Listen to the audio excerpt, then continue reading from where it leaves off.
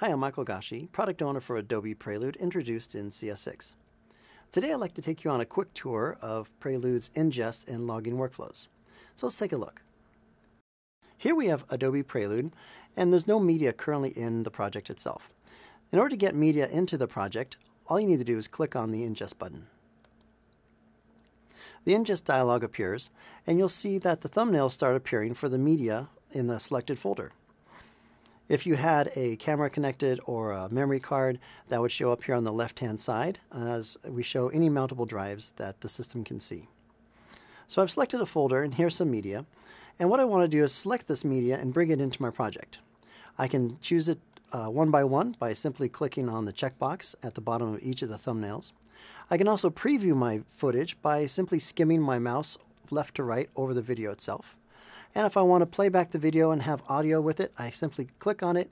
You'll see it becomes what we call player active. By there's a, a scrubber here and actually a play bar at the bottom. And I hit the space bar and it'll actually play back with audio. If I want to select all the video at once and bring it in, I'll just click on the check all button and then I'll click on the ingest button over here. You can see all the media appears now in the project panel. So now that I have my videos inside my project panel, I'm ready to start logging it. To log a video, all you do is select it and then double click, and it opens it up in the timeline. Now for Prelude, logging means adding temporal metadata or markers. On the left-hand side, we've got our marker type panel that lists the six different marker types that ship with Adobe Prelude. For these demos, we'll talk about number one and number two, which are subclips and comment markers. To add a comment marker, I'm going to grab the player and I'm going to start moving it along. I'm going to find an interesting point that I want to start my comment marker. And I actually want to catch right when this guy enters the frame. So I'll set the player right to that point. I'll click on the comment button and you'll see that the comment marker appears. Also, right under the timeline, we get our heads up display asking me for the description of the comment.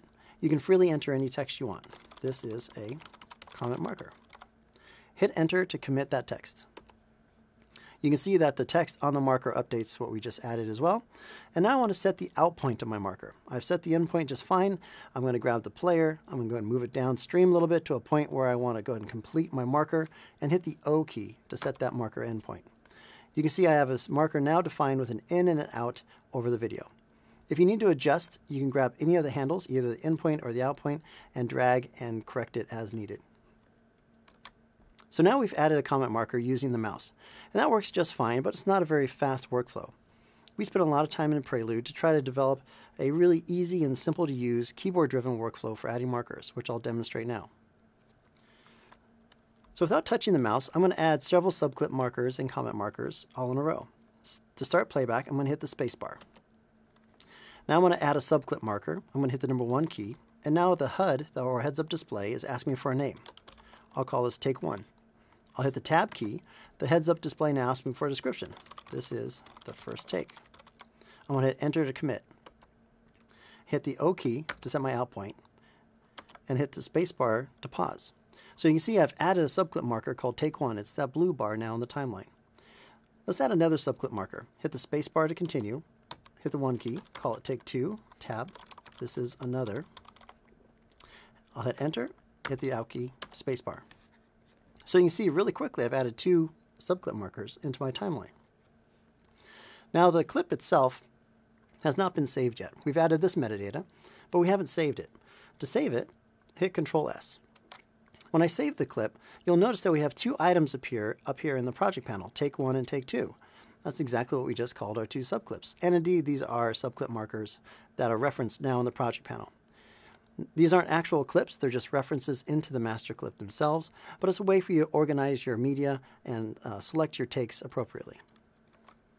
So now that we've organized our media in our project panel, we'd like to show you some of the more advanced features of our ingest dialog. One feature in particular is called partial ingest. So we open up our ingest dialog by clicking on the ingest button, and here comes our media. So there's a clip here that at the very beginning uh, is, is pretty boring. There's a camera sitting at the end of the ramp waiting for the car to appear. We don't really want to show an empty ramp. That's not very interesting. So what we want to do is we want to trim this clip and ask Prelude to just give us the subset of the interesting part. To do that, I'll grab the playhead here and I'll scrub until the point where I can actually see the car come over the ramp.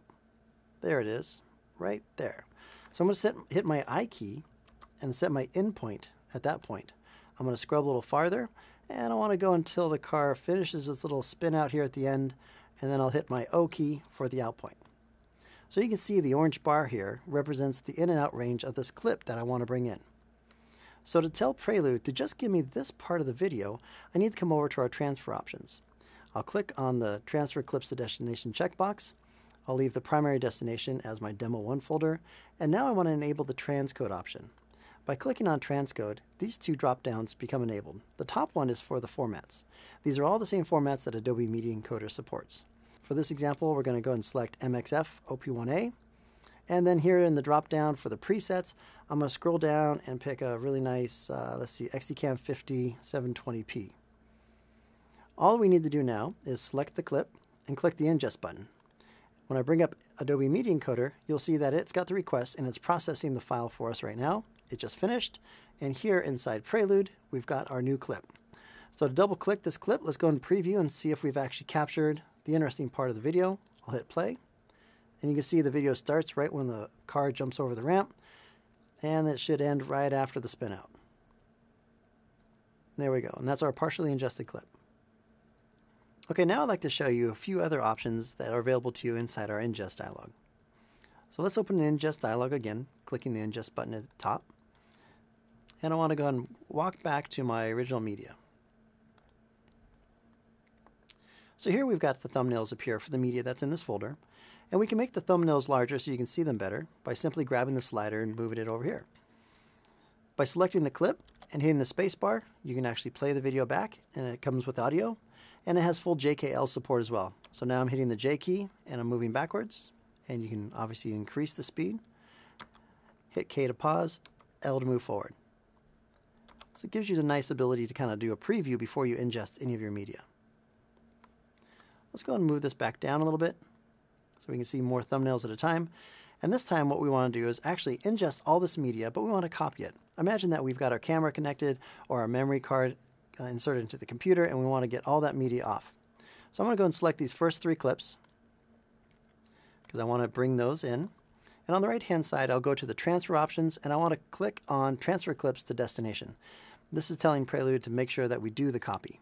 You can choose your primary destination. We'll go ahead and keep our demo one folder, but you can choose any location you wish. And it's going to create a, a, a subfolder for us automatically that is date time stamped, just so we can help organize ourselves automatically. Down here at the bottom, we have a verify option. So there's two ways you can verify media during a transfer in Prelude. The first one is by file size. This is a pretty fast check. It just goes ahead and makes sure that anything that we've copied matches the exact same file size as your original source does. The other one is by file content. This is more of a binary CRC check. It takes a bit longer, but if you really want to make sure that you've got your media onto your destination in the exact same details and format that's on your source, you definitely want to select file content. We'll disable that for now for the purposes of the demo. You can also add additional backup destinations. Click the Add Destination button. It'll let you select a new location.